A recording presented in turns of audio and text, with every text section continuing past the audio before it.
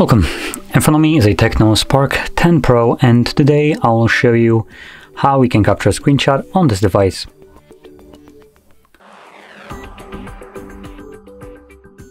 So to get started, open up content that you wish to capture. I'll be using home screen as an example for this, so it's already open in, in my case.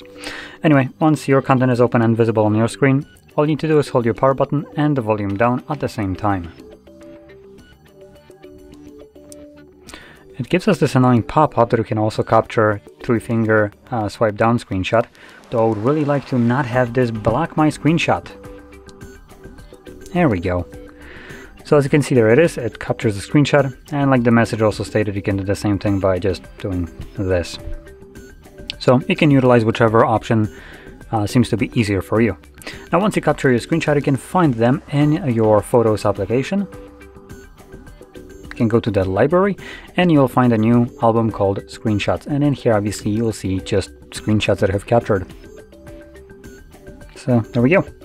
Now, if you found this video helpful, don't forget to hit like, subscribe, and thanks for watching.